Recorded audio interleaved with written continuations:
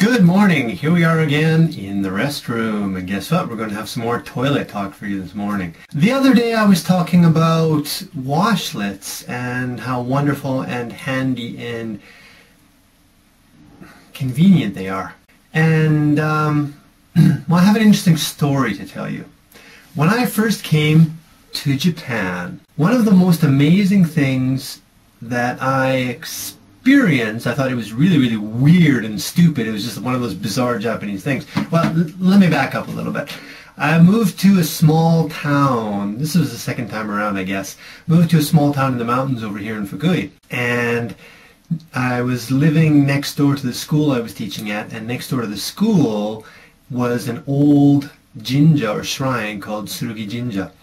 And, um, you know, they had an outdoor toilet there, restroom, one side for men, one side for women with a urinal and toilet. And the interesting thing is that on the wall here, there was this little device that when you pressed it, it made the most amazing flushing sound. kind of like this.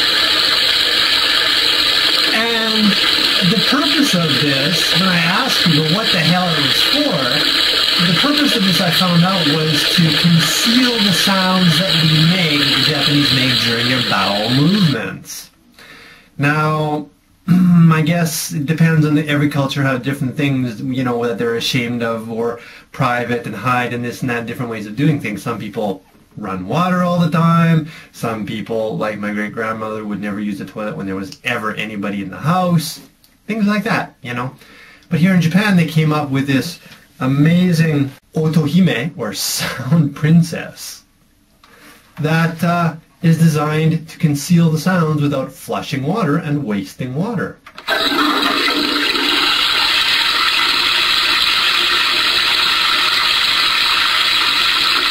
Now, I thought this was really, really stupid in the beginning. But 20 years later, I'm not so sure how stupid it is anymore, you know? Because... Whoops. Because, because nowadays, Japan is getting really heavily into everything's got to be eco, eco, you know, ecological, eco-friendly. That's how they're remarketing everything. So there's kind of a resurgence in this because people are still self-conscious about the sounds that they make in the toilets, especially when the walls are so thin and the neighbors are so close and you can actually hear your neighbors going to the restroom. It kind of makes sense again, you know? So there's a resurgence.